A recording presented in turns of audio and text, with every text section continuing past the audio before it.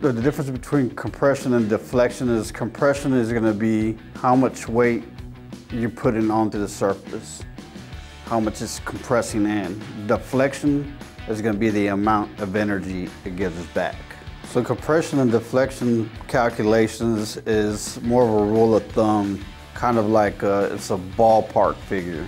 The most important factors when it comes to compression deflection would be durometer, shape factor, pounds of force, any other kind of information about is there room to bulge. We were talking about compression deflection. It's not like rubber where it's compressible. Urethane will be displaced rather than compressed.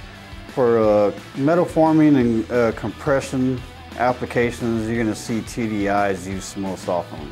You would want TDI ester in the compression applications because it's tear resistance. Another form of compression is uh, like caster wheels, truck tires, forklift tires, any wheels with dynamic heat buildup. It's that uh, polyesters tend to uh, store energy, thus making the part fail ultimately. When high dynamic, compression wheels, you would want to use a polyether.